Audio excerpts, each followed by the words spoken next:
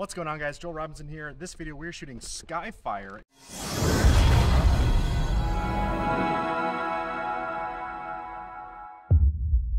Skyfire from SFX Fireworks, 75 shots. It's obviously a fan cake. This is a relatively large cake. Let's see the description right here 20 seconds in duration comet tails horse tails crossettes and brocade. I'm assuming each row is an individual effect for example that is a row of horse tails which means this could be a really good cake to individually match the rows for a fireworks show. Hope i'm right. Let me know what you guys think in the comments below